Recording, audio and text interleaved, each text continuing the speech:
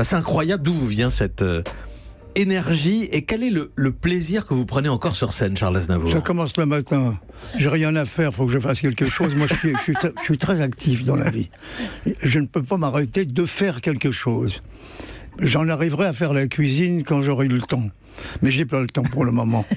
Mais je pense que quand on fait mon métier, il faut un côté un peu in- intrépide. Il faut être un peu, il faut vouloir tout connaître, tout savoir, tout apprendre. C'est ce que j'ai fait. Alors le public qui nous écoute, euh, à quoi peut-il s'attendre lors de ces concerts, euh, Charles Aznavour? Eh bien, on s'attend à une chose tout à fait particulière. On vient toujours pour chanter ces chansons Oui, nouvelles. oui. J'ai décidé de chanter les plus anciennes. Ah. Oui, voilà, c'est ce que dit, c'est ce qu'a fait le public dans, le- dans la salle.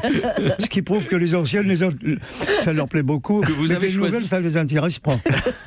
Que vous avez choisi comment? Parce que c'est difficile au milieu de d'un Ah, millier de bon, chansons. Oui, mais non, c'est pas très difficile parce qu'il y a les chansons qu'il faut absolument chanter, ce que j'appelle les incontournables. Sinon, on vous le reproche. Et puis à part ça, celles que l'on attend et que j'ai pas chantées depuis longtemps, que je refuse de chanter. Par exemple. Par exemple, il y en a une que je chante en c'est sur ma vie. Je refuse de la chanter. je sais pas pourquoi, mais j'ai pas envie de la chanter, je la chante pas. Sur ma vie. Mais il m'est arrivé d'arriver en scène, de commencer une chanson, de l'arrêter et de dire alors que pas celle-là, sans m'ennuyer aujourd'hui, elle m'em- elle m'embête, on va chanter une autre. Ouais.